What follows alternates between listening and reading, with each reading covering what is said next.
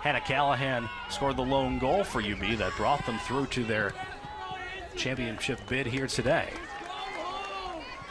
Ball off Dombrowski out for another throw. Simmons. In for Ford. Back to Simmons. Side taken down and played forward here. And a lot of space to be had for Kaya Schultz. Referee playing advantage. Ball gets through.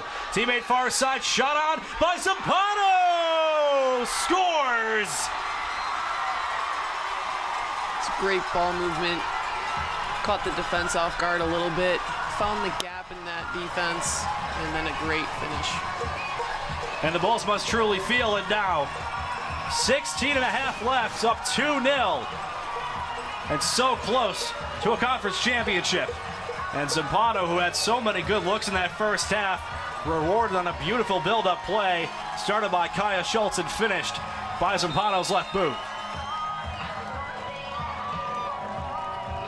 I don't know if there's any